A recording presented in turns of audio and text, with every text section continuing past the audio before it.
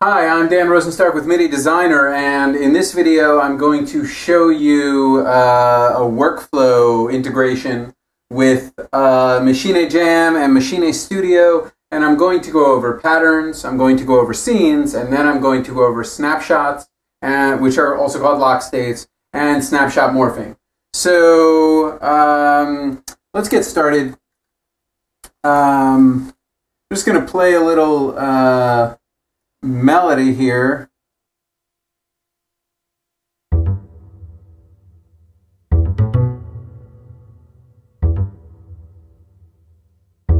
And I'll play some drums.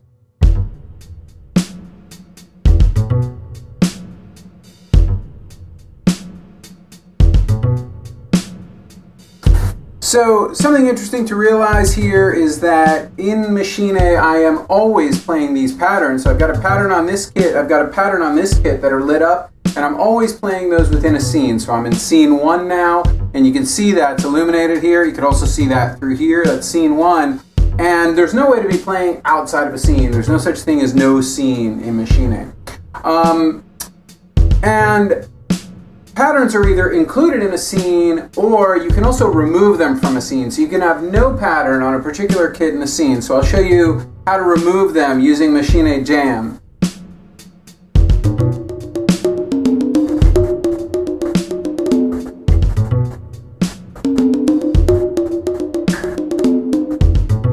So when it's in, it's in the scene and when it's out, it's out of the scene, and all scene editing is destructive. So as soon as you do this, the scene is changed.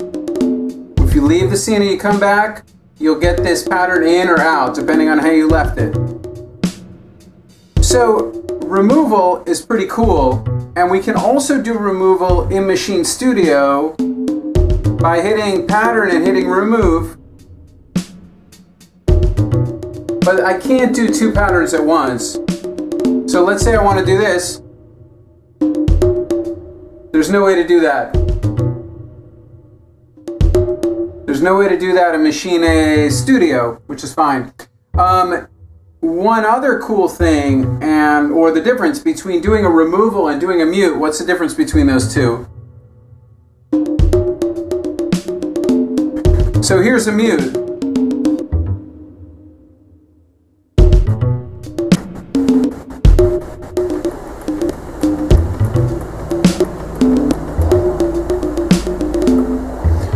So you can hear that the big difference there is that when I do a mute, it cuts off the outcoming, the outgoing audio.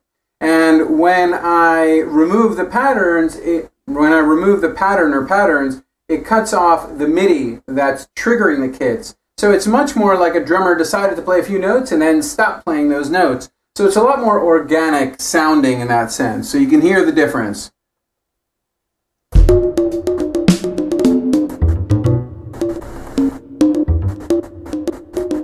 So same thing, if I do it here,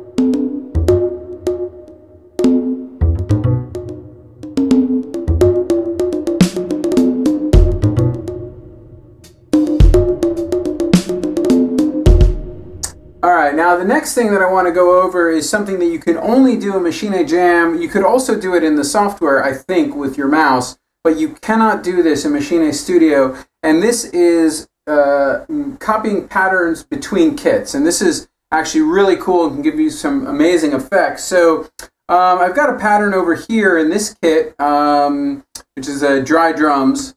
And let's just hear that pattern solo.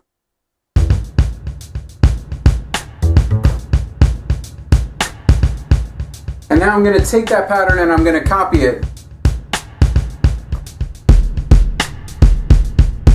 Now it's two kits at once. Now this next thing I'm going to do, you cannot do in Maschine Jam. You have to do it in the studio or MK2 or Micro, which is to nudge it. Um, if somebody can show me how to nudge in Maschine Jam, I'll buy you coffee. Um, so here I go, I have to be out of the mixer in Maschine Studio. I'm just going to go to the events, but I don't have to.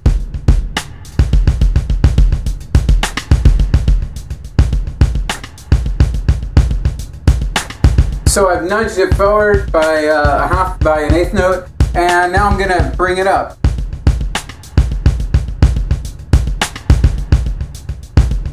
Same thing, I have to get out of the mixer to nudge up here, to uh, bring the notes up, or I can do it here.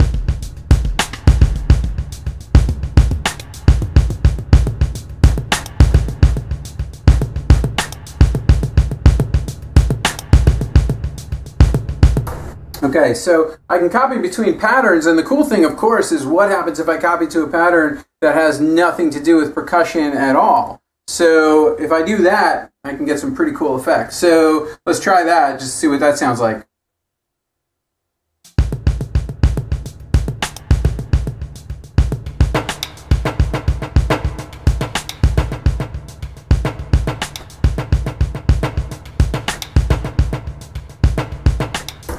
So I've just copied my pattern out from a drum kit to a percussion kit, and that's pretty interesting. And then the possibilities are pretty limitless there. So that's a pretty cool thing that I can do. So I showed two two things with patterns. I showed how to remove patterns and, from a scene, and I showed how to duplicate patterns between kits. So that's a really cool thing that you can do in Maschine Jam and opens up a whole bunch of possibilities.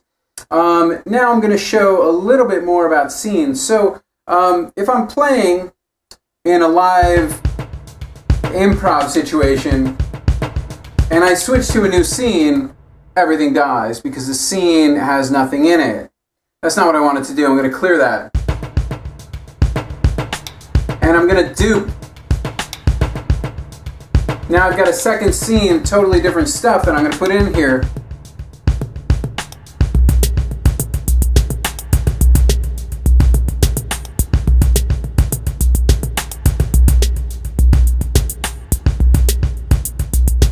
I said, scene editing is destructive, so as soon as I change those patterns,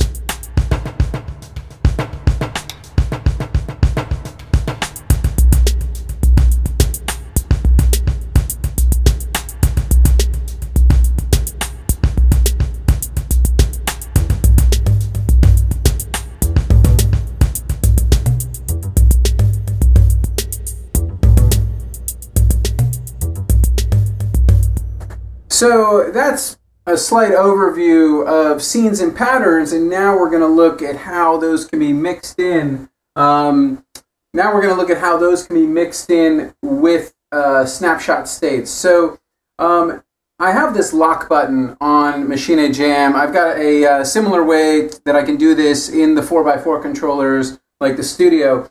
Uh, what the lock button does is it takes all my settings, and this is everything but scenes and patterns. So volumes, you know, kit tuning, um, macro controls, which here I have macros mapped to filters on the master level. Um, mute states also are all captured there, and that goes into a lock state. So if uh, starting with this simple use is as soon as I hit lock, so I'm just going to start here. I hit lock, and now everything that I do goes into a new snapshot, and when I press lock again and get out of it, everything rewinds to where it was. And it's gonna do it over two bars, because that's what I have it set to. Let's just mess with some tuning a bit.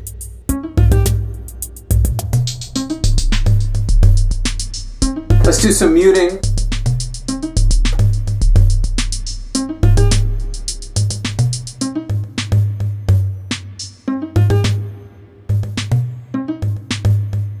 So when I press lock again, we're snapping back.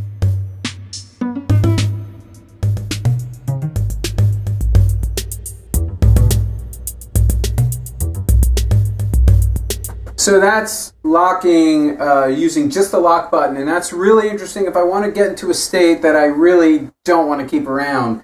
Um, if you do want to keep it around, there's no way to lock that down because um, as soon as you hit lock, it's going to snap back. So let's go into the other mode of lock states, which is I hit shift lock and then I can see all lock states on the 64 grid. So I'm going to hit shift lock and when I come in here, normally I get a first lock state or a first snapshot, which is where I start out. So let's see where we are now.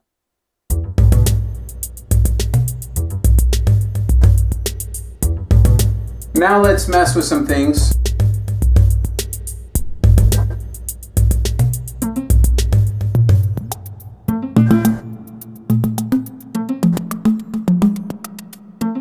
That's our second lock state.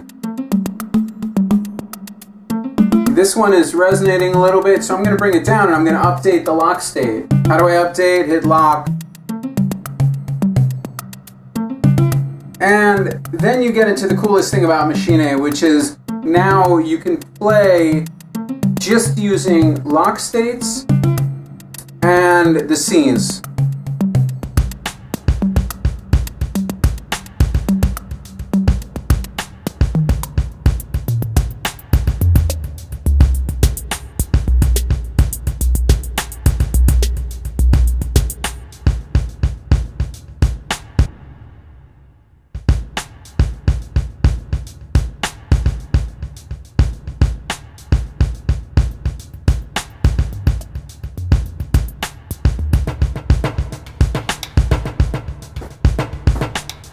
Anytime you can go back to your kit and play more stuff.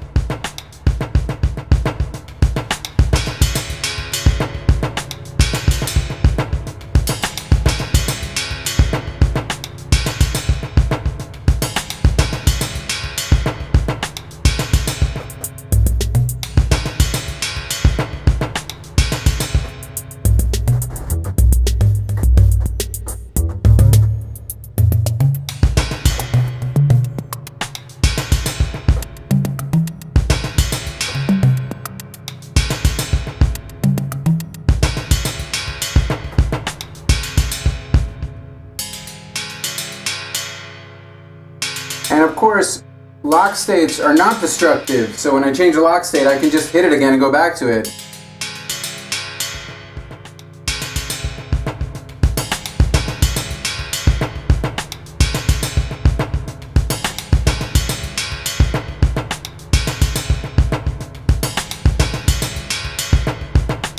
And one more thing I want to mention. So, uh, talking about patterns and removing patterns is a great way to go um, but the problem is with the unified focus, if you're actually playing anything at the same time, you can only do that on the same kit you're on. Let me show you what that looks like. So let's say that I'm here um, in the first kit and I just want to start screwing around with some 30 second notes. Okay, so now I'm playing something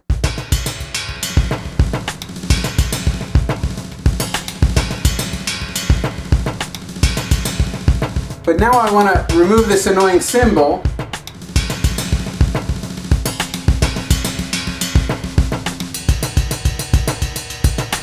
So the unified focus uh, took me away from the first kit and brought me into the last kit, which was not what I wanted to do at all. Let's uh, contrast this with muting, which we can do. So I'm just going to bring that whole situation back to where I was.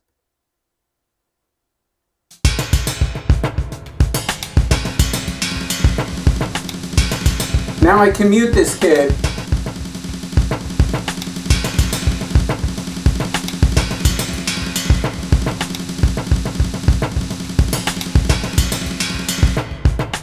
So I can mute the kit or I can adjust the level or I can do something else, all of which is part of the snapshot, but I can't remove the pattern because of the unified focus. So, you know, there are two different ways to slice stuff up here.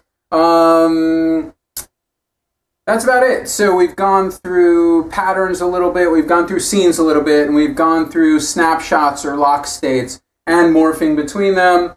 Um, there are obviously other videos that go over these individual things so that you can understand them a lot better.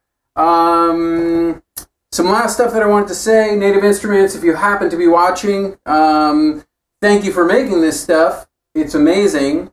Uh, the LED contrast is terrible. We can't figure out what's going on on the jam. The on states look just like the off states. It's really hard to tell. So LED contrast is the first thing, and the second thing is that the unified focus is a bit of a mess. Um, personally, I'd prefer it if they didn't switch at all. I could have them both be looking at different stuff. I realize that's impossible in certain situations, but let's dial it back. Um, Thanks for watching. Thanks for checking out this video. And if you're watching and you're interested in a MIDI controller for iOS that is modular and customizable and awesome, check out MIDI Designer, which is uh, MIDI Designer Pro 2. And uh, if you have any questions or comments, shoot us an email. We'll put an email uh, below in the description. And make sure to subscribe. Subscribe. There must be a subscribe. Subscribe. I don't know. Um, all right. Thanks for watching, and uh, see you next time.